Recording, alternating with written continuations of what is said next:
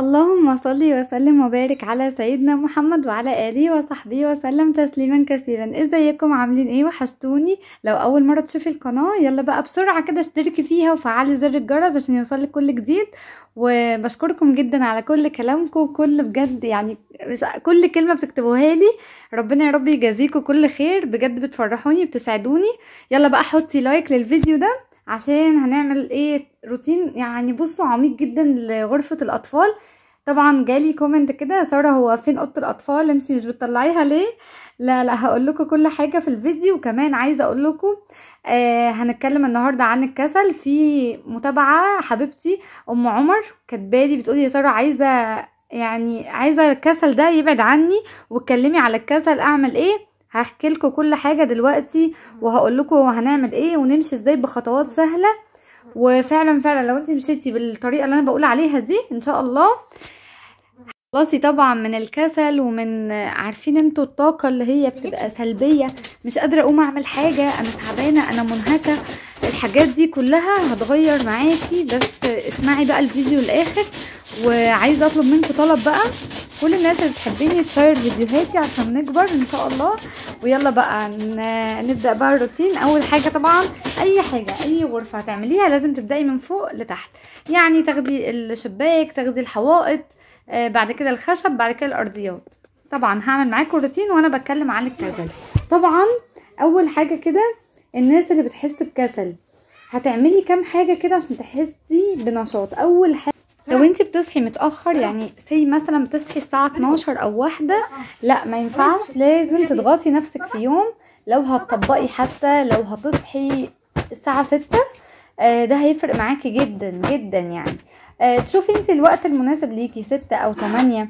الوقت المناسب ليكي هو ده الوقت اللي انت فعلا هتحدديه لنفسك. يعني انت مثلا تقدري تيجي على نفسك وتسهري يوم عشان تقلبي خالص يومك وتبقي فعلا فعلا آه تبدأي كده يومك بدري وتحسي بطاقة إيجابية. هتحسي إن انت عايزة تعملي كل حاجة والولاد نايمين.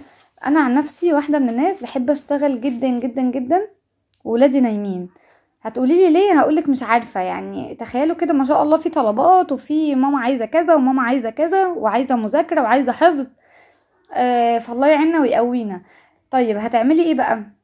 أول حاجة كده تظبطي المنبه وتخليه نغمة كده تكون مختلفة عن النغمة بتاعتك الطبيعية التقليدية اللي انت أصلا بتصحي بيها مثلا آه في أيام المدارس أو يبقى عندك مشوار أو كده لا غيري النغمة عشان تبقى نغمة مميزة وتصحي بدري فعلا.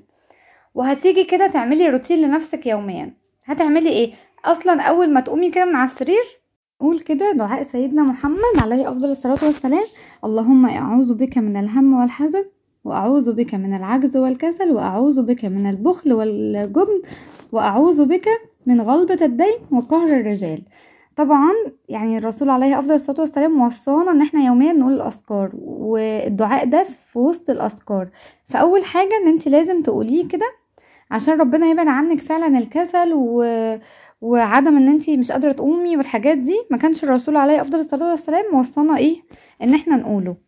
اتفقنا؟ ده أول حاجة. تاني حاجة بقى الناس اللي بقى بتستتقل إيه ده؟ أنا هروح أعمل كده. لا ده المهام ده كتير قوي. النهارده هعمل كذا وكذا وكذا. لا لا أنا مش قادرة. لا ده أنا هدخل أقعد أحسن. همسك الموبايل. هقعد على اللابتوب. هتفرج على المسلسل التركي اللي أنا بتفرج عليه. وهكذا وهكذا. هتلاقي اليوم عندك خلص ووصلتي لحاجة إن انتي ما هد يعني ما عملتيش أي حاجة من أهدافك. فشل. مش قادرة إن انتي تقومي. خلاص الكسل آه سيطر عليكي. عقلك وتفكيرك خلاص مش قادرة أقوم. تعبانة الجو برد الجو حر ايا يكن. كل الحاجات دي لأ. طيب تعالوا كده نرجع كده يعني الناس اللي عندها كسل ترجع كده تعمل فلاش باك كده. هتلاقي نفسك إن انتي آه عمالة تفكري إن هقوم دلوقتي هعمل واحد اتنين عشرة. لأ أنا بقى بقولك تعملي حاجة مهمة جدا. النهاردة عندك مثلا نزولة رايحة تجيبي حاجة وعندك ترويق بيتك وأكل ممكن تعملي حاجة حلوة قوي تقسمي المهام بتاعتك دي لحاجات صغيرة. يعني دلوقتي هعمل مثلا ترتيب البيت وهرتاح شوية وبعد كده آه هنزل وارجع تاني أرتب البيت أو تعكسي. أهم حاجة إن انتي تعملي إيه؟ آه تبسطيها لنفسك عشان عقلك الباطن يقدر إن هو إيه؟ أو إن هقوم أعمل كذا. أيوه انت هتقومي فعلا تعملي كذا. فتلقائي هت... هتلاقي نفسك أصلا هتقومي هت... هتهدي الدنيا. بقى على حاجة. دلوقتي مثلا شغل البيت عندك أوضة الأطفال بقت إيه كوم. آه، أوضة النوم بصوا فوق بعض. الأنتريه والسفره والمطبخ والمواعين. والتويلت مش نظيف. طبعا الشقة كلها عايزة كده تتفجر. أنا معاك إن إحنا هنفجرها. ماشي؟ طبعا انت يوميا كده هتقولي لأ. كل يوم بقى عمالة الحاجة تزيد عليا. مش هعمل حاجة. يجي جوزك بقى من الشغل. آه إيه يا هانم ده؟ هو انت بتعملي إيه طول النهار؟ طبعا يا جماعة معلش الكلمة دي بتتقال على الناس اللي بتعمل أصلا. والله العظيم الكلمة دي بتتقال يعني بتتقال على الناس اللي تعبانة طول النهار. المهم يعني آه تيجي بقى إيه الشقة طبعا مليانة تراب وكركبة وعدم تنظيم. فتيجي مثلا تحكي مع واحدة صاحبتك تقول لها تقول لها ده أنا البيت عندي زي الزفت مش عارفة أعمل فيه أي حاجة. طبعا مثلا صاحبتك دي لا واحدة نشيطة مثلا ربنا يا رب يبارك في صحتها وكده. تقولك آه، لا يا حبيبتي شغل البيت ده ما بياخدش معايا إيه غمضة عين. هوب هوب على طول بيخلص. ما تحكيش لحد ظروفك ليه بقى؟ لأن الله أعلم دي ما شاء الله ربنا مديها مثلا طاقة. ربنا مديها إن هي فعلا عايزة تصحى بدري فربنا بيقويها إن هي تعمل. ممكن يكون ظروفها غير ظروفك. آه، هي اتعودت تصحى بدري تلقائي كان شغلها كان آه، حياتها قبل الجواز. أنا بقولك لو انت حاسة بكسل لأ قسمي كده آه، مهام يعني مثلا ابدأي بحاجة صغيرة هتلاقي أصلا المهام بقى إيه إيه ده؟ أنا طبقت الهدوم هوب غسلت المواعين هوب معرفش غيرت الملايات هتحسي إن أنتي راحة نفسية كده وعينك هترتاح لما تلاقي شقتك نظيفة وبيتك مرتب وولادك كده آه، مدياهم الشاور بتاعهم آه، مسرحة لهم آه، قاعدة بتذاكري معاهم أو لو أنتي لسه أطفال خالص بيبي يعني لسه يعني سنتين وكده آه، يلونوا يلعبوا بحاجة. هتحسي انتي براحة نفسية هتحسي انتي أم منظمة آه، تحديتي الكسل فأنا بحب يعني إن أنا أتكلم معاكم مثلا كده في أمثال إن إحنا لو في كذا نعمل كذا. يا رب تكون المعلومات دي فادتكم ووصلتوا معايا يعني إن إحنا فعلا لازم نتحدى الكسل ده عشان الكسل ولا هي هيخليكي هيخليكي واقفة زي ما أنتي. ما عملتيش أي حاجة جديدة. فإحنا عموما كأمهات لما بنيجي نحفظ بيبي مثلا بيبي إيه بس؟ لما بنيجي نحفظ طفل مثلا آه، أكيد مش هتديله مثلا خمس كلمات مرة واحدة انجليش أو عربي. لا لا لا مفيش الكلام ده طبعا. أنت هتيجي تعملي إيه؟ أول حاجة طبعا هتديله إيه؟ كلمة صغيرة من ثلاث حروف بعد كده هوب أربع حروف بعد كده كلمة من خمس حروف. هيبدأ بقى يجيب بعد كده معاكي بقى من ست حروف. كلمة بقى حلوة كلمة كبيرة هي هتلقط أو هيلقط أي حاجة هتقوليها. بس كده ويا رب يكون الكلام فاتكم وهنا بقى خلاص خلصنا بقى غرفة الأطفال. عايزة أقول لكم إن أنا مبسوطة جدا جدا جدا لما بصور معاكم وبوصل لكم كده طاقة إيجابية. والحمد لله خلصت. عايزة أقول لكم طبعا هو الشقة وهو أي غرفة عندكم خلوا الشمس تدخل كده وتنور فعلا حياتنا. مش هقول لكم الشقة. والمطبخ عندي اللهم بارك نظيف. الحمد لله. أهم حاجة تنامي وأنتي مطبخك نظيف. وهنا بقى كنت نقعة كده برغل نقعته وصفيته. هعمل إيه بقى؟ حطيت ملح وحطيت آه معلقة سكر عشان طبعا اللحمة تبقى مستوية معايا. وحطيت معلقة بابريكا وبعد كده فلفل أسود. أنا عايزة أقول لكم إن أنا هعمل كفتة مشوية بالبرغل. تحفة جدا بنصحكم تجربوها. وهنا بقى توابل لحمه وآخر حاجة معلقة حبهان كده. معلقة حلوة يعني.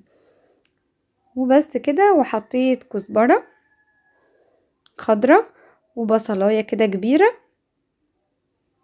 وهنزل بقى أروح عند الجزار. عايزة أقول لكم بجد بجد يعني دوقوا كده الكفتة بالطريقة دي هتعجبكم جدا جدا جدا. وحطيت كده آخر حاجة بقى في التوابل ماجي ماجي تكون powder وحطيت كيس كده baking powder ليه يا سارة ال baking powder؟ مش قادرة أقول لكم بجد هتخلي معاكم كفتة كده هشة وجميلة. هنا بقى خلاص قطعت اللحمة اللهم بارك.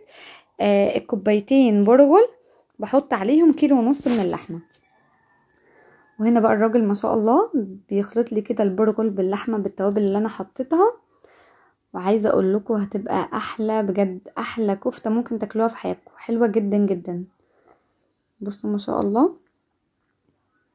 روحت البيت وسبتهم في الفريزر بقى زي نص ساعة كده عشان طبعا الجو كان حر جدا.